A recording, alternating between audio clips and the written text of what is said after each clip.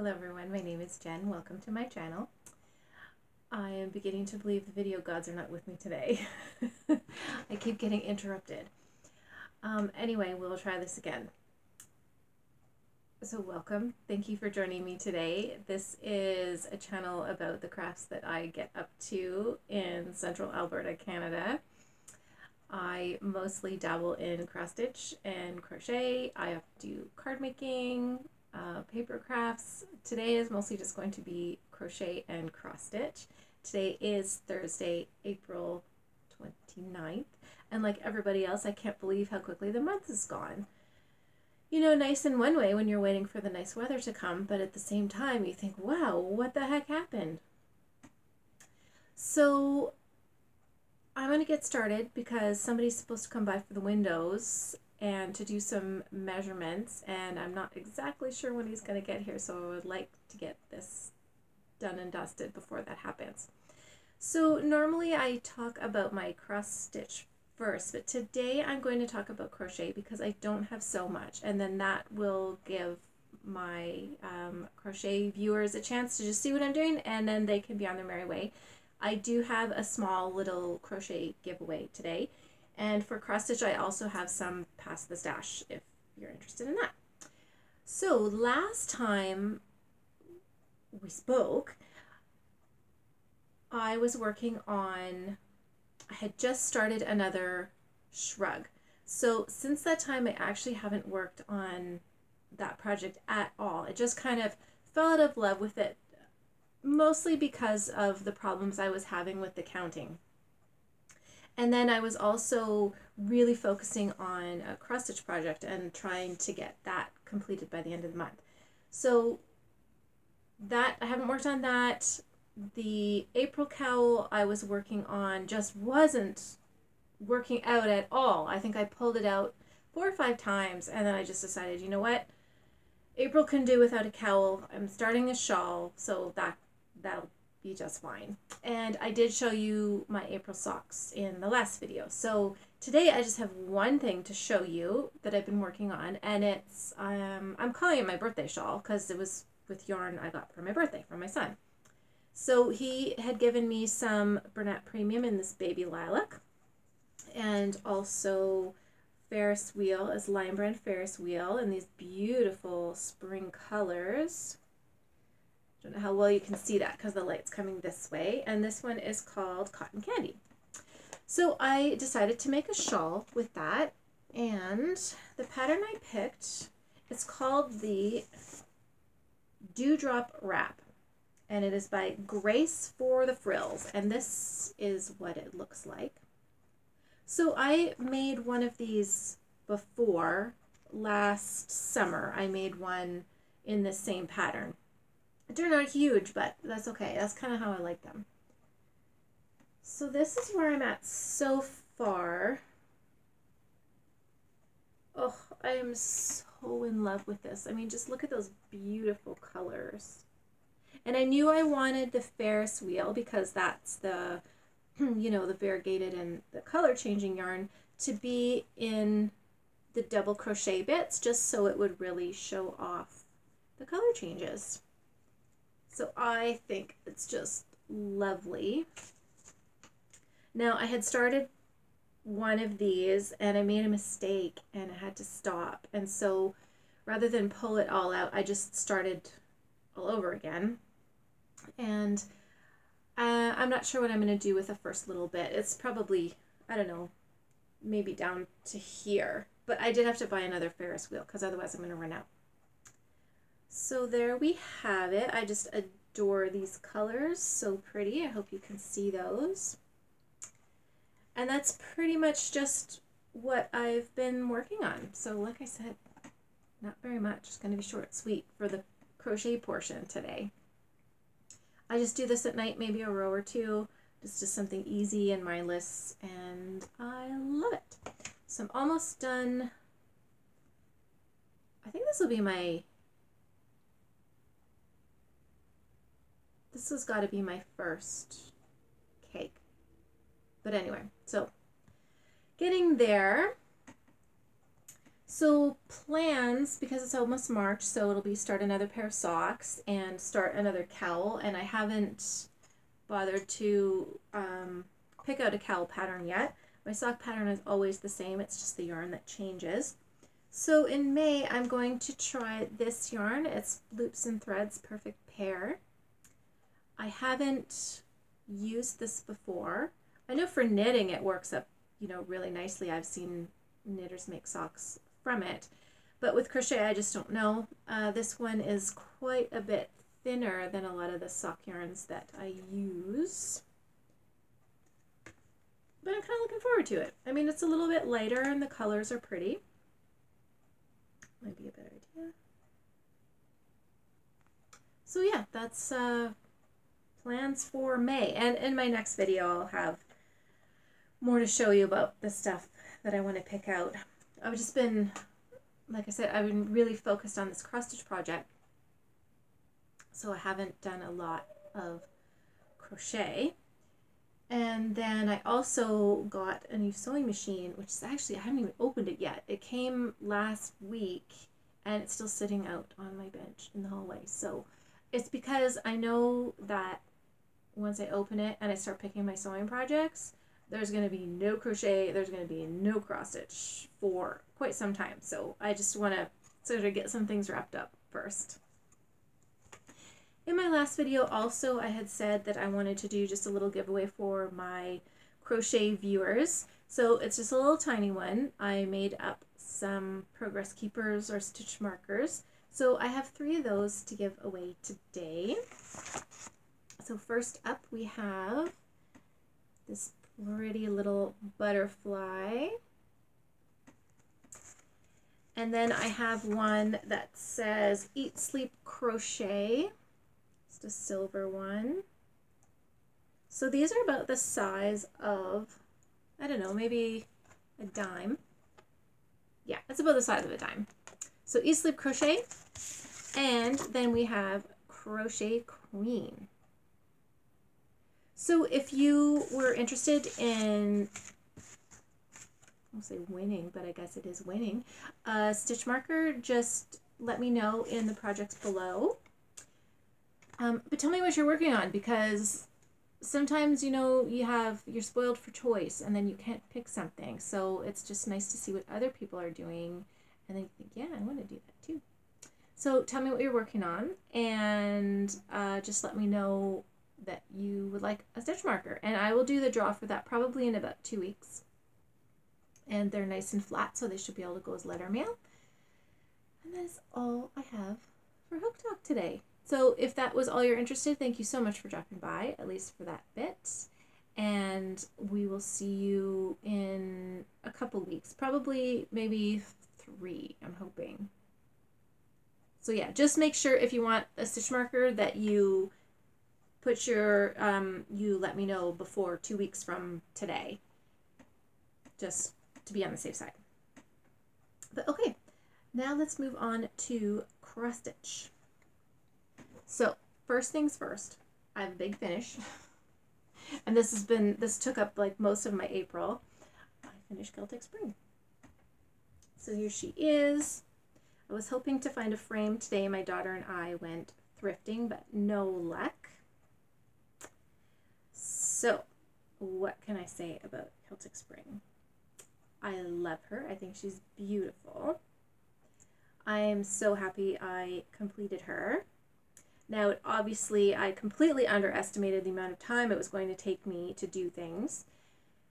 And then once I finished stitching, I thought, well, I'll just take a break so I can work on my other projects before I start the beading, but I still wanted to get the beading done by the end of April. But then when I finished the stitching, I thought, well, I'll just start on the beading. So I think the beading maybe took me four or five days. Now, granted, some of those days were long days. Um, I, I like to bead. I do. But I knew this going into it. I don't like the beading on this project. So I just feel that it's too much. And I like I like the beading on the dress and in her bouquet and in her headband. And I think a little bit of beading around here is fine. However, I just felt that with the border and how much work the border was, and you heard me complain about that over and over, then to put the beads on, so I was actually starting to like the looks of the border, but then when, you know, then I started putting the beads on, and then I didn't really care for it, and I didn't really care for all the beads up here. So I just thought, well, I I will continue as charted the way I'm supposed to do it. This is my first one. I do have all the other ladies and I can make changes to those ones. But for the first one, it's like trying a recipe for the first time. I like to just follow it as written. So let's see. I did make a mistake over here. It's not really a mistake. I just accidentally omitted some stitches. So I think it's this one, this medallion um, don't they don't look like they're supposed to but by that time i said forget it there's so much on here anyway and nobody's going to notice now i do have plans i did get an idea for my next lady that i will start that i will change the border i will still put beads on but the border is just going to be different so anyway she's finished. She's complete. I am I'm happy about it. I think she's beautiful. It's, you know, my favorite colors. It's my favorite season. So I'm glad I finally got one done. Because when I started cross stitching, I felt and I saw ads for these ladies in the magazines. I just thought they were so beautiful and I thought, you know, if I ever could get to the point where I stitch one of those, I will have arrived. So here I am. So there we go. So this has consumed most of my April, I would say. But anyway, now I have a better idea too of how, you know, long it's going to take.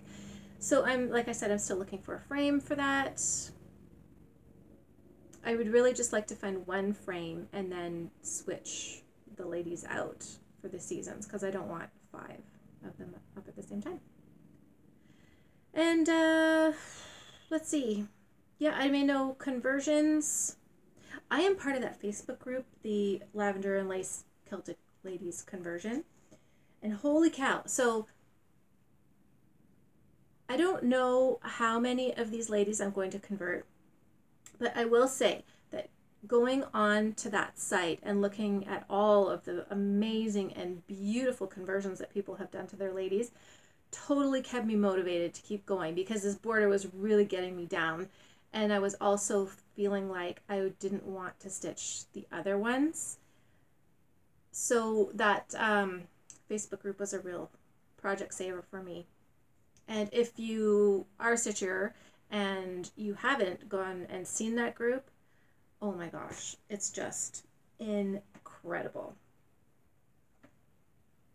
So that was my that, that was my big finish.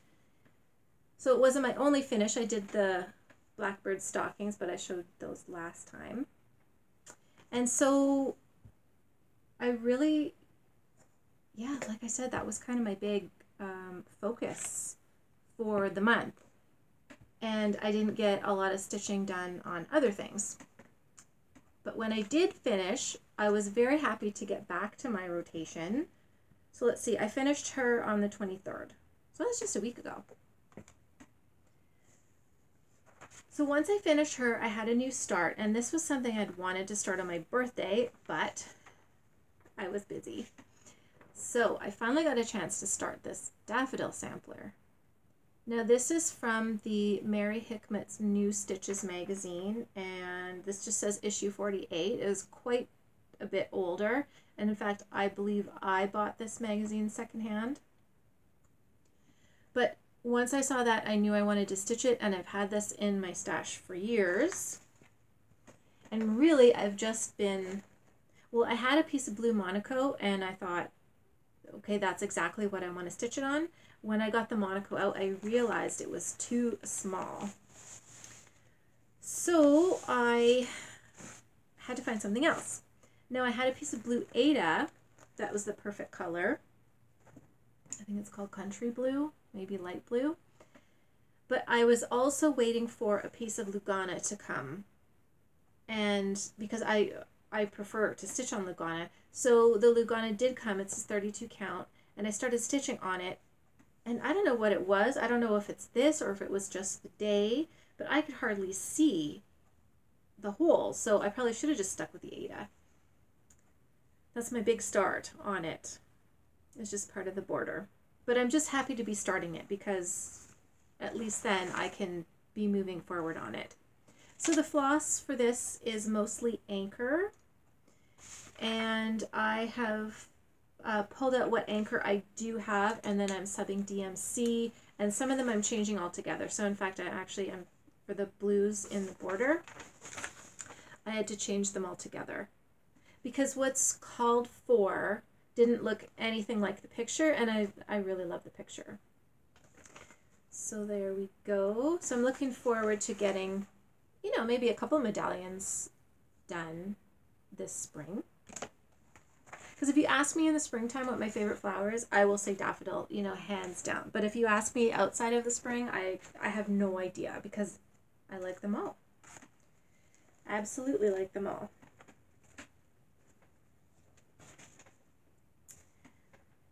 And I was finally able to get a few stitches back into my Leeds House sampler.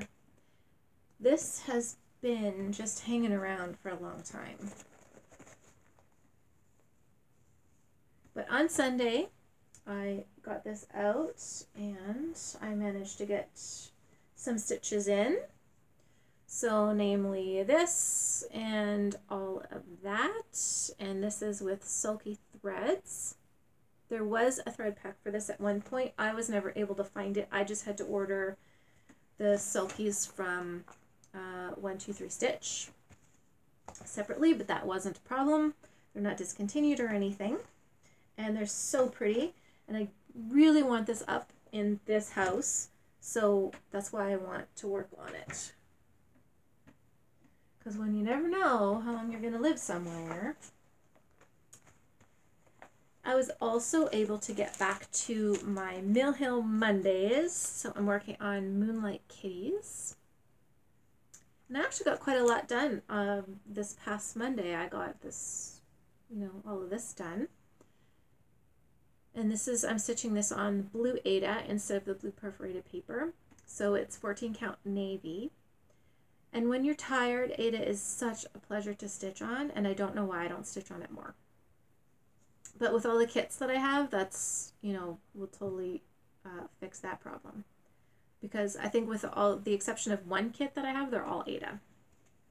But uh, yeah, so I'm looking forward to getting back to that on Monday. And I was even able to stitch on that late into the night too, because you don't have to think about it. You just stab till you find the hole. And then the last thing I've been working on is my other new start for April, and it's Wreath of All Seasons by Dimensions. What I thought I would do is just in every season see how much of that part of the wreath I could get stitched. Because I'm definitely a seasonal stitcher. I, I would not want to be stitching this part right now. I just want to be stitching this or maybe these colors. So I've made a small start on the spring and I've done just a couple of days on this, so here we go. So just some of the, whoops, nice. uh, just some of the Lily of the Valley. That's what I've been working on the last couple days. The Lily Valley too. It's not my favorite, but I love it. And it totally reminds me of, okay, so if you've been watching me for any length of time, you know that I love France, and I've been to France a number of times. So in May, there are five statutory holidays in France. One of them is the 1st of May, and it's basically like Labor Day. So one time we were there, we actually left on the 1st of May, and we were somebody came over and she brought us a little bouquet of lily of the valley. And she was explaining that it's this tradition that you give you know your friends uh, some lily of the valley on may the 1st it is may yes may the 1st So we thought that was really sweet, but we couldn't, I mean, we were just leaving, so we couldn't take it with us. And then as we were leaving the town, there were all these tables set up, and people had buckets of lily of the valley, and they were selling these little bundles, you know, for a euro or two euros. And it was so sweet just to drive through the town and see everybody walking and milling about selling lily of the valley. So we went to the Bordeaux, airport and flew into Paris, and then we would be coming home from Paris. But when we landed in Paris, and as we got off the plane, there was somebody at the uh, gate, and they were giving everybody a sprig of lily of the valley, and I thought that was so sweet. So I stuck it in my book, and I kind of smuggled it home, which you're not supposed to do because it's a live plant, but I did. And anyway, so this just reminded me of lovely May Day in France. Ramble on. And that's it for my what I've been working on. So what I want to work on, because May is coming, Stitch Maynia, I don't think I did Stitch Maynia last year, or if I did, it was Whip Mania. Because in 2019, I did Stitch Maynia and I started 14 new projects. And there are probably 11 of those projects still in their project bags that haven't been touched since 2019. So I'm a little leery about Stitch Maynia. However, this year I thought I would like to participate again, but just kind of on a smaller scale. So I decided I would like to work on some sewing smalls. So as you can see, this is kind of my little stitchy, stitchy, stitchy wall. I have some things that I have done that are sewing related and my, I've got all buttons and vintage notions in here and I collect sewing baskets and so they're in there. And there's a pile of fat quarters I just got at Walmart because they were 50 cents each on clearance. So if you haven't been there, you better have a looky-loo. And yeah, so I wanted to just stitch up some more sewing smalls. So I just, yeah. Now, sewing themed patterns. I have a lot. I have, bear with me here. So I have a binder full of sewing and quilting themed patterns. I also have this book and this book, which is awesome. So it was kind of hard to decide what I wanted to do because, of course, I want to start them all, right? I had to pick. So this is what I've come up with. Now, this is going to be kind of a fluid list it could change as it usually does. So I had found, I have to fold this over. Sorry for the noise. This is from Cross Stitcher, February 2021. It was one of their little challenge pieces that they, you know, challenged designers. Snip and sew. I thought that was really cute. Now I'm not going to say that should be a quick stitch because it won't be you know, there's enough shading and back stitching in there that it's going to take me longer than I anticipate. But at least I know that, right? I love the colors and the little scissor charm. So that would be cute. I have my little sewing bag. And then I really want to start this one. Tra-la-la. Souris Bobine. And look at those cute little mice and all the pretty flowers and the little spools of thread. So I've had this for a little while, so I want to start this one. And I thought that would be cute up there. And I've noticed that they actually, uh, Tralala has another one about mice in the sewing room. So I'm just waiting for that to come back into stock because I think that would be sweet as well. Now this one should be pretty quick. It's Silver Creek Samplers with needle and thread. No, it's called Stitching Feeds My Heart, sorry. And I thought I might do a little bit of a color conversion on that to more blues. That's really cute. I thought that's kind of doable as well. Then I have Heartstring Samplery Stitch or Die Pincushion. I thought this was so hilarious when I first saw it. So I would like to do this one and I've just pulled some silk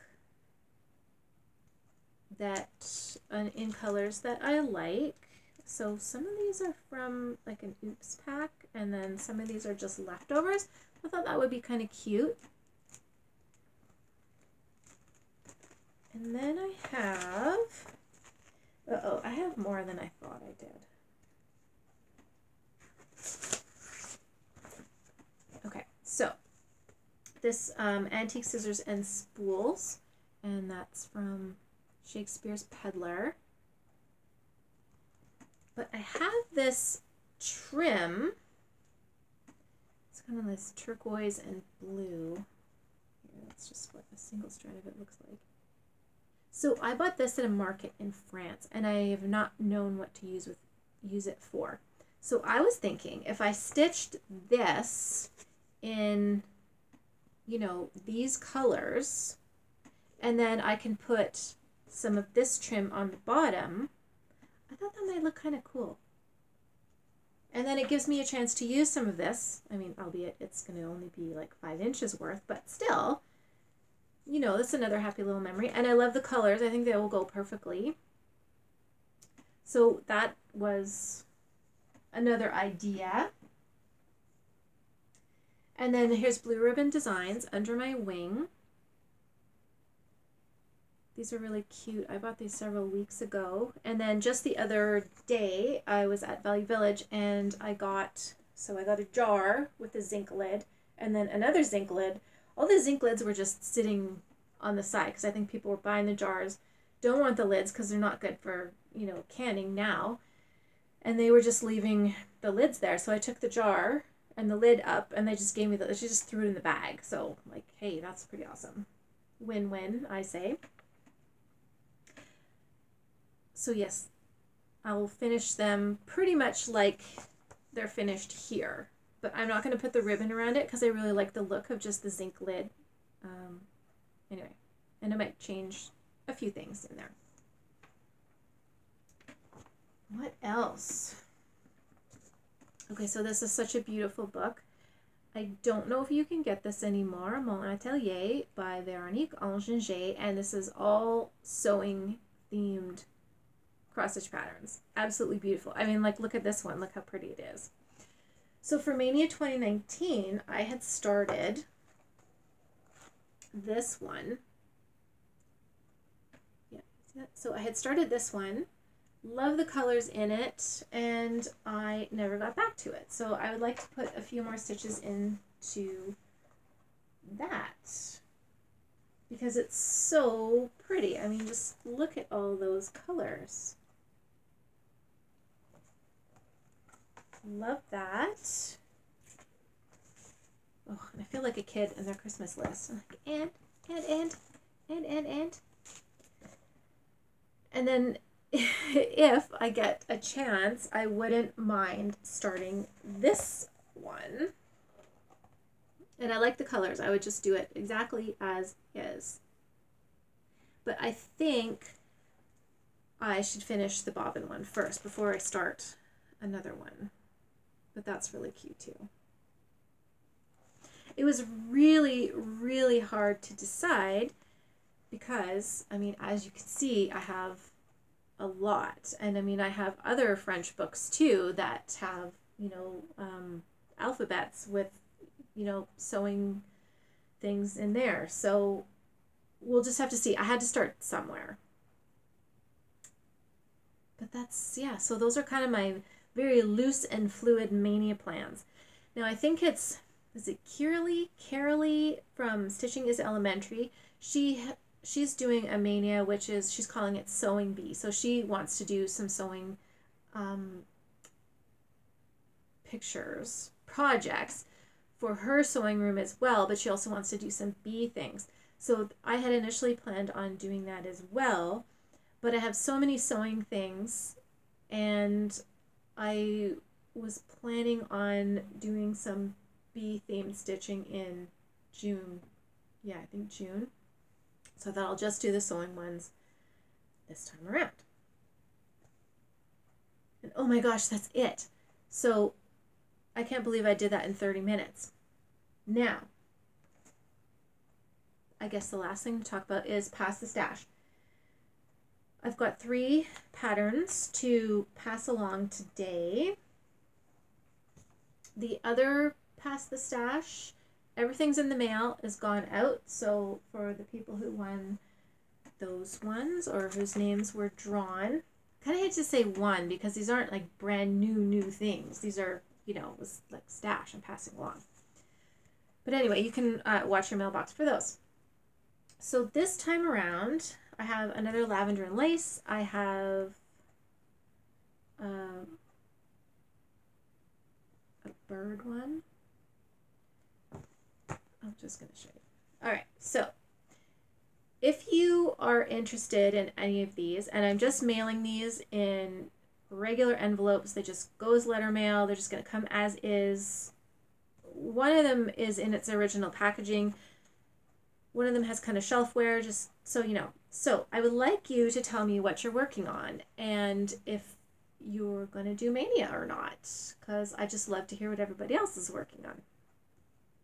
And then, so yeah, leave me a comment telling me what you're working on or if you're doing Maynia or, you know, anything.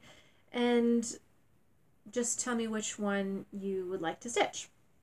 So the first one, actually wasn't mine. I was in the thrift store last week and looking through a bunch of charts there. So I saw this one. I'm never going to stitch it, but I know there are a lot of people who like to stitch these. And you know, good for you, because I'm looking at the chart on this one, and holy cow, it's just not going to ever happen here. So this is a Teresa Wentzler, and it's the English Garden Sampler. And this is what it looks like.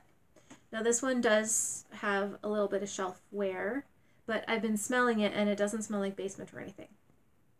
Yeah, it's fine.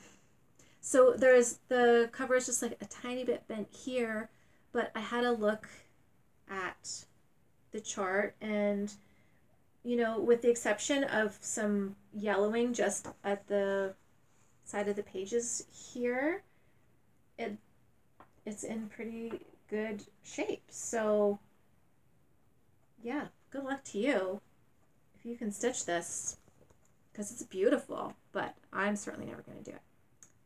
So, English Garden Sampler. I hope people are still going to want that. I don't know. I think I gave away a Teresa Wentzler a couple years ago. And yeah, there were people interested, so. Okay, so the next one up, this is kind of springy because a lot of babies come along in the spring. So this is Lavender and Lace, and this is called Sweet Dreams.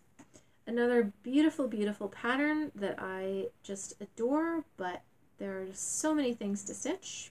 This will not make my list.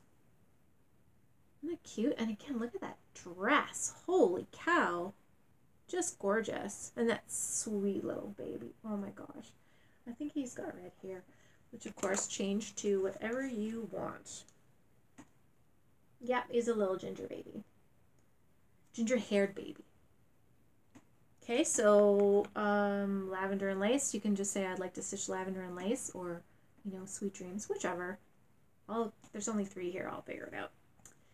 And then the last one, I, I had set this aside to give away, and then I was looking it up, and I thought, no, I'm gonna keep this one because it's so pretty. But no, I'm gonna I'm gonna pass it along. So it's called America's Feathered Friends. It is a chart from Lenart by Marilyn Bastien. Isn't that nice? So, look at all these other beautiful ones in the back. I had this one. I bought it at a thrift store and then I foolishly got rid of it because I thought, oh, I'm not into that anymore. I'm not going to stitch that. I'm a dummy. There's just some things you just shouldn't ever, ever give away. And then this one, oh my goodness. Isn't that beautiful? Seasonal bouquets. Yeah, if I ever found that at the thrift store, I'd snap that up. And I probably wouldn't pass along because I'm greedy like that. Okay, so anyway, um, this one is also in pretty good shape, and I just looked at it, so now I gotta look at it again. Oh yeah. And this one is actually divided up, so no part of the chart is actually all, um, the crease doesn't go over any part of the chart. So that's good. So yeah, tell me what you're working on and tell me if you want to stitch this one. So like my crochet giveaway, I'm probably got about two weeks from today. I don't know if I'm going to do another video in two weeks, but at least, you know, try to get it, your um, comment and which one you want to stitch in the next two weeks. And I will do the draw for that before my next video. So I will, if I draw your name, I will leave a comment with your comment. And then in my next video, I will uh, let you know then as well so that you can give me your address and I can pop those in the mail for you. And I think that's it. I feel like I've been talking super quickly. And plus then I know that the window guy's coming and I'm looking around here and he's got to come in this room. I'm thinking I should probably just go and clean up. There's not a ton of, I don't know, life update going on around here. You know, same old, same old, which is good. Which is which is really good. The older you get, the less exciting you want your life to be, really, because you know what excitement is. Anyway, thank you so much for visiting me today. Uh, don't forget to leave me a comment. Tell me what you're working on and if you want to stitch any of those things or if you are interested in stitch marker. And I will see you later. So, um, yeah, I put my Instagram in the descrip- in the description box. You can always message me there as well, or my email. I'm not really. I'll, I'll occasionally check Instagram. I'm just not on it as much as I used to be because I would rather be stitching or doing something else. I was just finding it to be too much of a time waster. Even though the people that I follow on social media and all the things that I belong to on social media are crafty related, so generally pretty inspiring. But still, I could be doing my own inspiring things. Okay, now I am really rambling. So again, thank you so much for visiting. I will see you in a couple of weeks. Love your stash and happy spring. Happy days, friends.